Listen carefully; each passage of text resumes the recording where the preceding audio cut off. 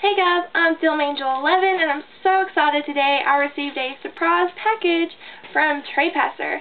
So I have no idea what's inside of it, but I'm going to open it up. My trusty scissors. So let's open this bad boy up. Very excited.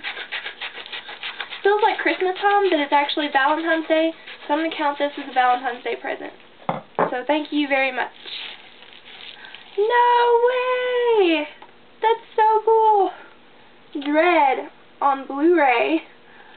So, I guess you saw where I'd been commenting and I entered the Nerdy Lisa's contest and you knew I love this and I absolutely do.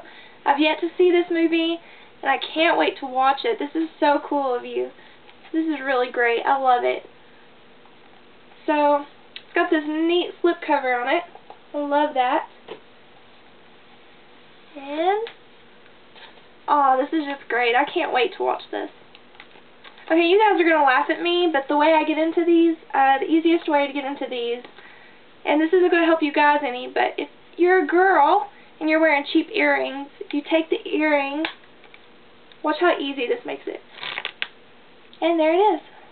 It's open, so I can just pull it open. This is really nice of you, by the way. Oh, that's so cool. This is probably going to look fantastic on Blu-ray. So for those of you, I'm sure many of you, most of you probably have watched this movie, and I haven't seen it yet, but I know it's set in a futuristic world where the police are the judge, the jury, and the executioner. And if you saw the door open, that's my dog. Okay, got the security tape off. Awesome. So there's some of these recycle cases, which I don't mind, though lots of people do. And great disc art. Very cool. Trepacer, you are so fantastic. You are one of my good friends on here, and I look forward to hopefully sending you something sometime soon, as soon as I realize what you might want. And I love this. This is great. I'll definitely watch this in the next few days and let everybody know what I think about it.